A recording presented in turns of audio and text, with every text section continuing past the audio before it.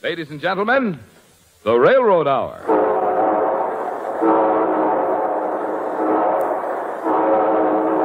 And here comes our star studded show train.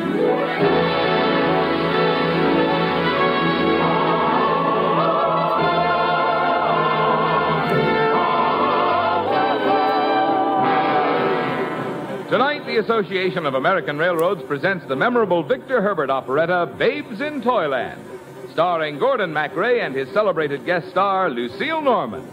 Our program tonight is dedicated to thousands of young musicians all over the country who are studying tonight's operetta and its composer through the pages of Keyboard Junior, a magazine for young musicians. The current issue also features a story about the Railroad Hour, its stars, cast, and producers. Our choir, as usual, is under the direction of Norman Luboff, and our music is prepared and conducted by Carmen Dragon. Yes, tonight another great musical success is brought to you by the American Railroads, the same railroads that bring you most of the food you eat, the clothes you wear, the fuel you burn, and all the other things you use in your daily life. And now, here is our star, Gordon MacRae.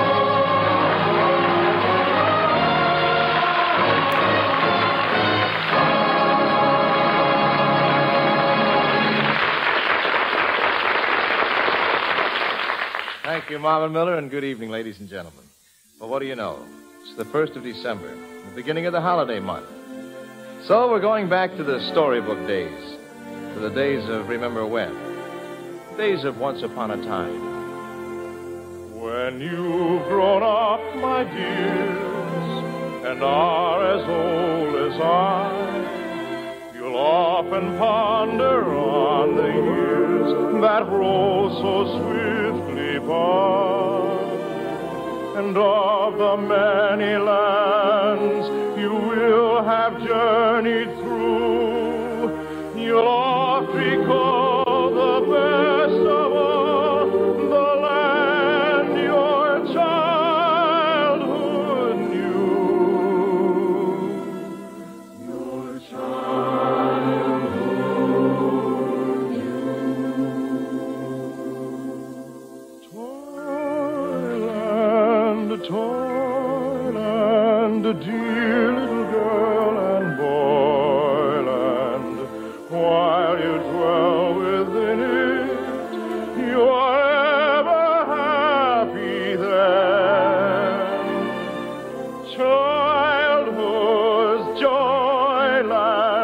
mystic merry toyland. Once you pass its borders, you can return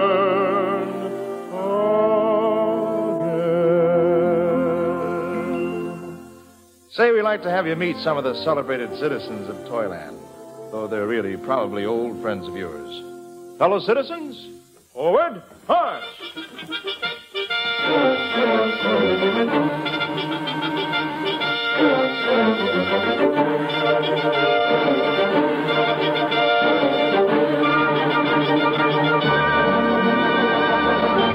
May we present Miss Hood. First name, Red Riding. Lovely child, very devoted to her grandmother.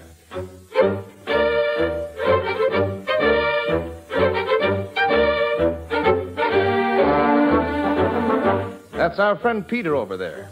That boy has a mad passion for pumpkin pie.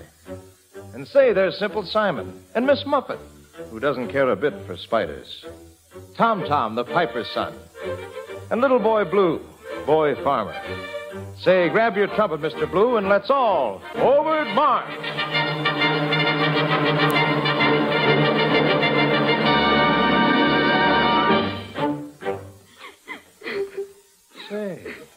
Crying? Why, it's little Bo Peep. What seems to be the trouble, Bo? Now, you haven't gone and lost those sheep again.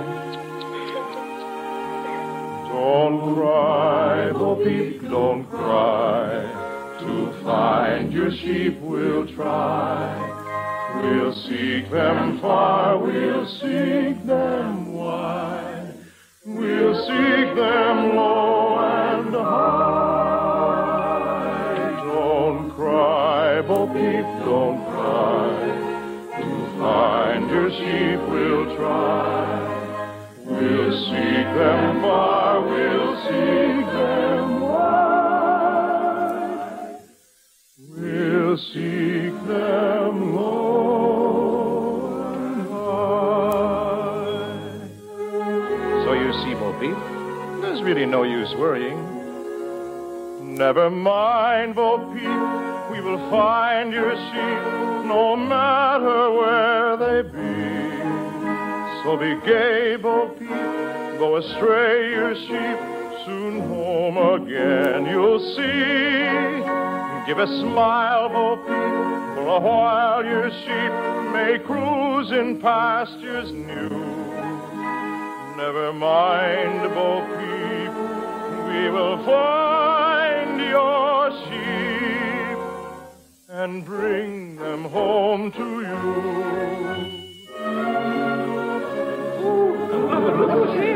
Good afternoon, my dear, dear fellow citizens of Toyland. Mary, How are you, Mary? I'm quite well, thank you, considering I'm so contrary. Dear Mary, have you had any word from Alan and Jane? No, Tom Tom. Their wicked Uncle Barnaby says they've both been lost at sea. And if it's true, then I'll never see my beloved Alan again. Golly, Mary, it looks as if you'll have to spend the rest of your life teaching arithmetic. And everybody knows what a dreadful thing arithmetic is. It's so everlastingly dull. Two and two just always seem to equal four. But I'll give it some variety. If a steamship weighed a thousand tons and sailed five thousand miles, with a cargo large of overshoes and mates were almost six feet high and the bosun near the same, would you subtract or multiply to find the captain's name?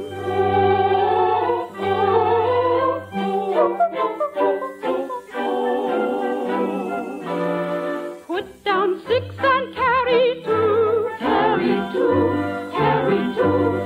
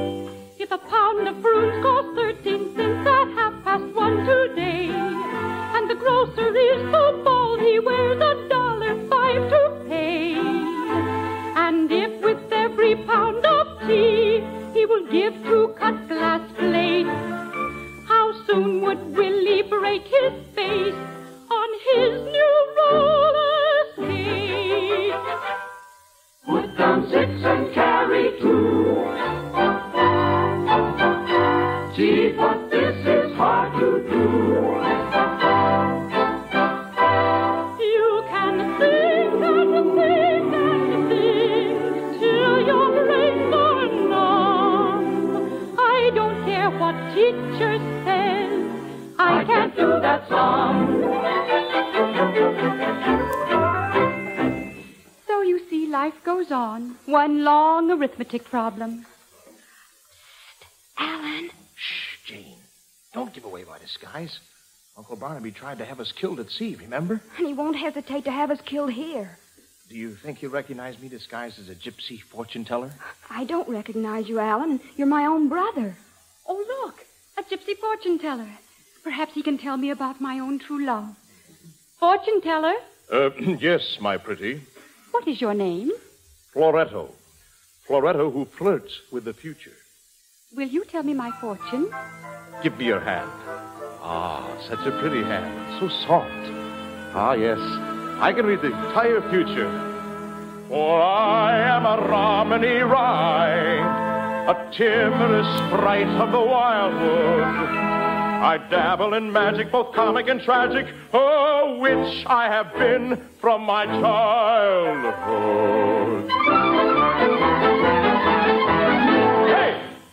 Great is my mystical might. The blizzard and avalanche mind me. I'm likewise a voodoo at casting a hoodoo. A qualified artist, you'll find me.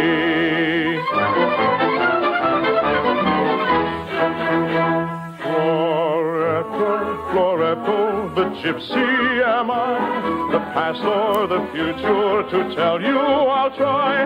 Your fortune I read from your palm at a glance. Pray notice I also collect in advance. Floretto, oh, Floretto,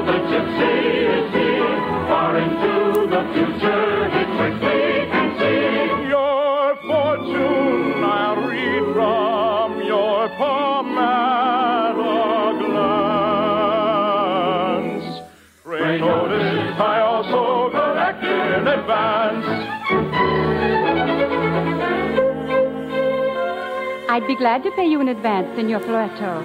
How much will you charge me? A kiss. Oh, dear. Uh, now tell me, uh, what do you read in my palm? Your name begins with an M. That's right. It's not Methuselah, or Mehitabel, or Marmaduke, or Minnehaha. I have it.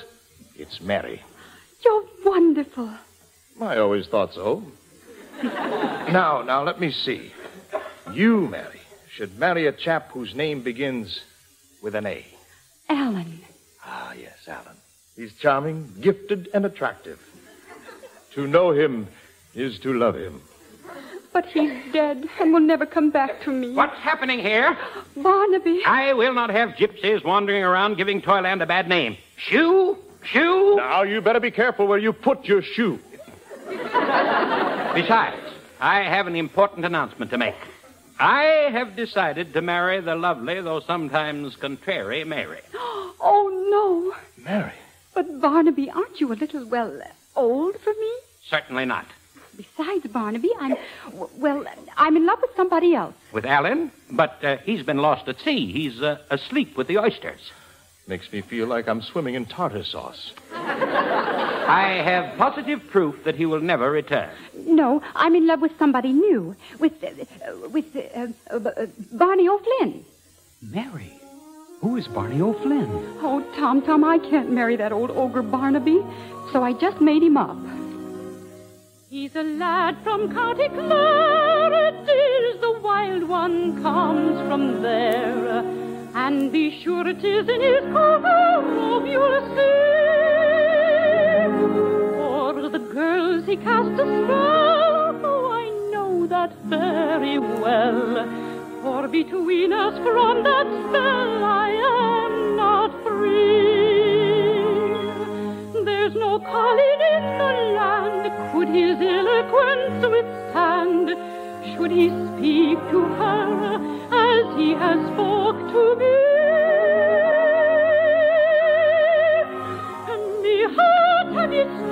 You're thief of me soul. Me senses he have taken too.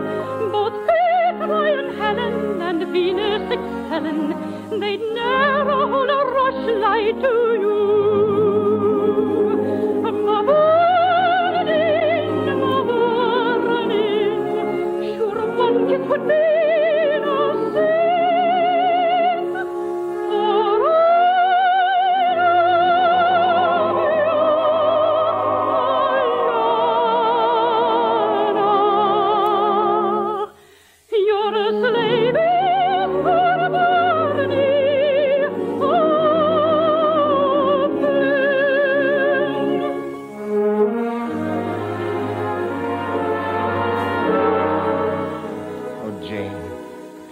Forgotten all about me. Oh, no, Alan, it's not true. But you heard her. She's fallen in love with some County Clare Casanova named O'Flynn. What are we going to do, Alan? You must leave here, dear sister, and never return. Leave Toyland? I have nothing more to keep me here. Mary is in love with somebody else. And Uncle Barnaby might try to kill us if he found us here, Jane. I'll, I'll go with you. Goodbye, Toyland. Goodbye forever.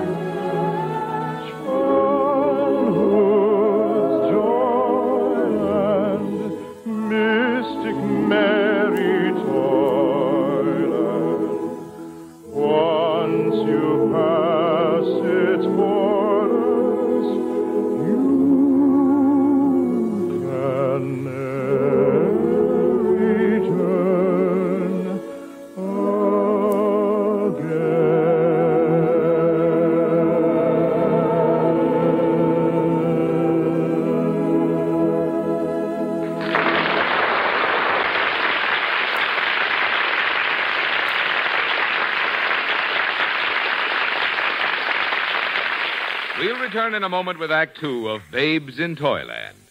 We have as our guest tonight the distinguished administrator of the Defense Transport Administration and member of the Interstate Commerce Commission, Mr. James J. Knudson.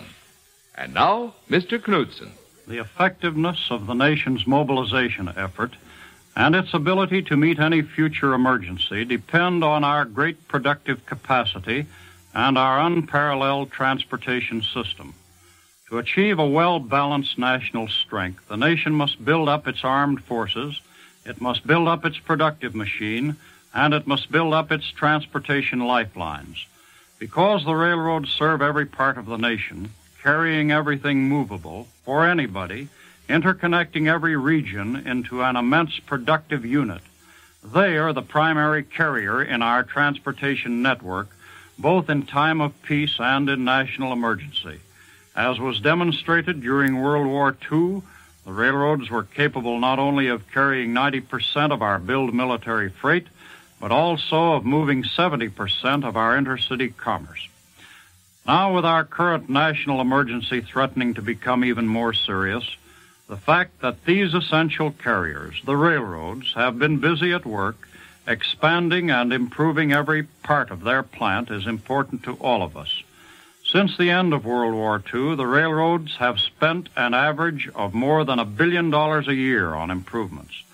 Since the outbreak of fighting in Korea, the railroads have installed thousands of new freight cars in line with their pledge to increase the supply of these vital cars to a fleet of 1,850,000. This pledge has just been reaffirmed by the nation's railroads. They are making every effort to obtain the allocation of enough steel to build at least 10,000 new cars monthly as soon as it is possible to reach such a production rate. The Defense Transport Administration commends the railroads for their forthright action to increase their transportation capacity to meet the nation's needs and will continue its active effort to help obtain the materials required.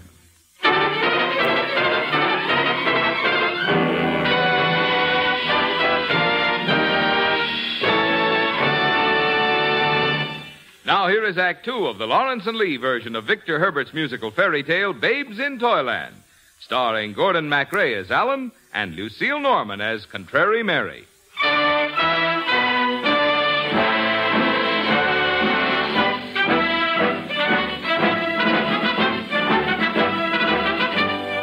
When Jane and I left Toyland, never more to return, we went to a distant land. We found work in a spot that was the closest thing to the real Toyland we loved so much the shop of the master toy maker. We tried to forget our troubles in the busy preparation for Christmas. All right, now, hurry, hurry, hurry. Every toy must be ready in time for Christmas. See that all the music boxes play on key. Good, good, good. Now, see that every mama doll says mama. Mama! Good, good. After all, we wouldn't want a mama doll to say Papa. Yes, well, I, I guess just about everything is ready for Christmas. Yes, sir. And we're all beginning to sing the wonderful Christmas songs of praise. Hail to Christmas, Joyous Christmas. Be gay. The day draws near. joyous Christmas. Kris Kringle, dear Kris Kringle, will bring our King to be. Now, Kris Kringle, dear Kris Kringle, will bring our King to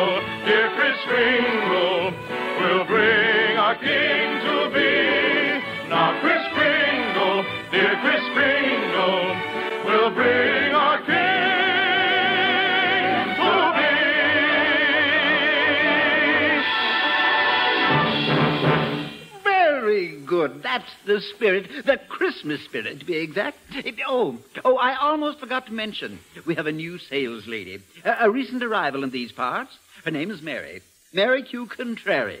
Jane, did you hear that? Yes, Alan, but what do you suppose she's doing here? We must hide until we find out. Hey, you get in that packing box, and I'll I'll just stand here and pretend to be a wooden soldier.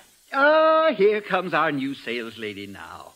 Welcome, Miss Contrary. Thank you, Master Toymaker. Now, you are to be in charge of all the dolls. Have a look around at the stock. You'll find quite a variety of them. Oh, thank you. Oh, how beautiful they all are.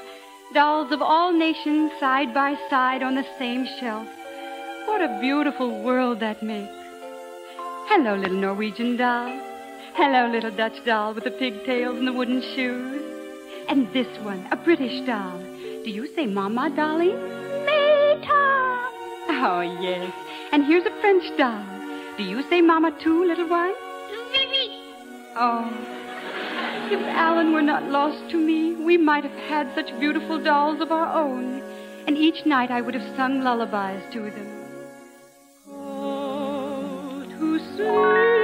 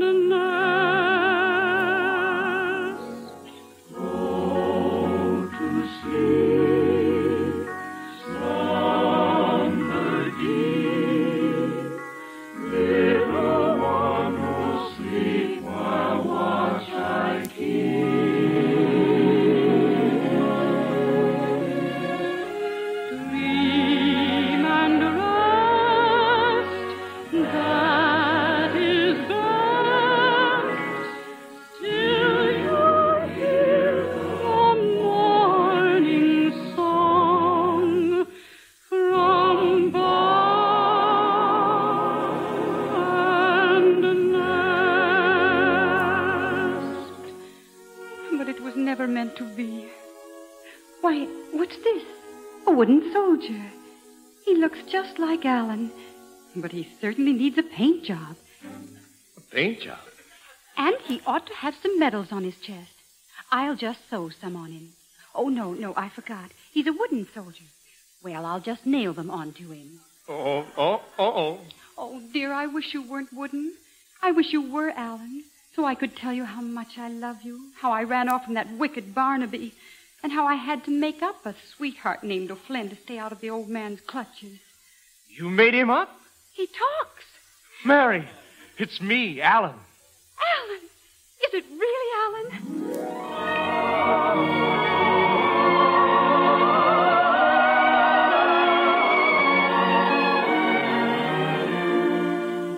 Oh, Mary, I'll never leave you again. But wait, you're sure there's nobody named O'Flynn you love? Never, never. No, my sweetheart, there's one test of true love. The toys. The toys? Mm-hmm. Everybody knows that a toy is only worth something when there's a child to love it. Otherwise, it might just as well be wood and cloth and buttons. That's why toys always know when there's love around, especially at Christmas time. What happens, Alan?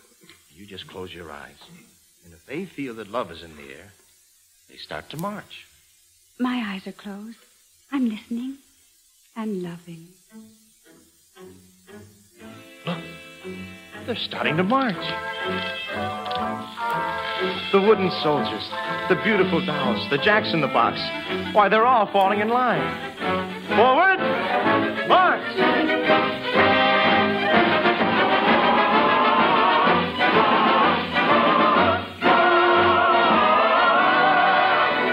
Oh, this is going to be a wonderful Christmas. Will you make it a Merry Christmas and marry me, Mary? Oh, yes, dear Alan, but only back in Toyland. Toyland, Toyland, dear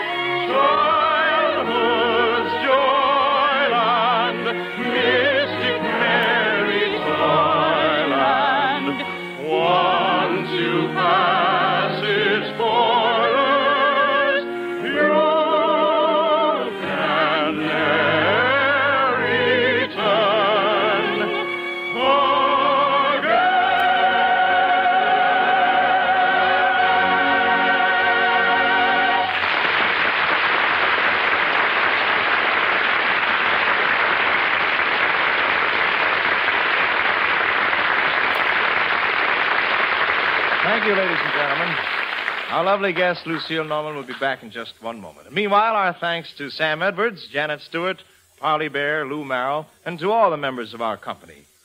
Babes in Toyland, with book and lyrics by Glen MacDonough and music by Victor Herbert, was dramatized for the Railroad Hour by Lawrence and Lee. The Railroad Hour is brought to you each week at the same time by the American Railroads. Marvin? Have you made out your Christmas card list yet? It won't be long now till we're right in the middle of the holiday season, and that busy team of Santa Claus's helpers, your mailman, the post office, America's railroads, and the Railway Express Agency, will be working feverishly to handle the mountains of Christmas packages. Won't you help these hard-working folks and mail or express your packages and Christmas cards early? And when you do, please use Christmas seals as much as possible. By doing so, you help bring the priceless gift of health to fellow Americans suffering from tuberculosis. Thank you, Marvin. And now, ladies and gentlemen, here again is our charming contrary Mary, Lucille Norman.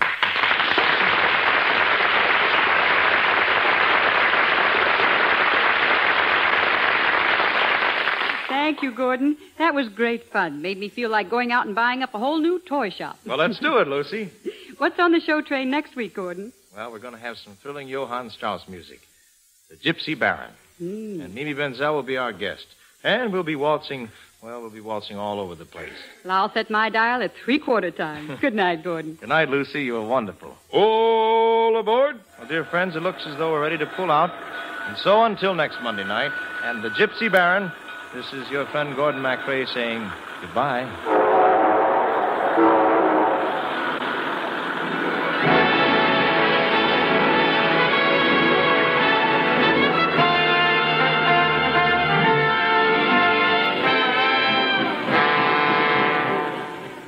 Babes in Toyland was presented by special arrangement with the Tams Witmark Music Library. Gordon MacRae appeared through the courtesy of Warner Brothers, producers of The Miracle of Fatima.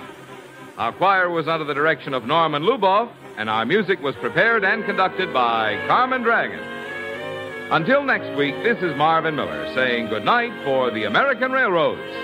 Now stay tuned for your Monday night of music on NBC.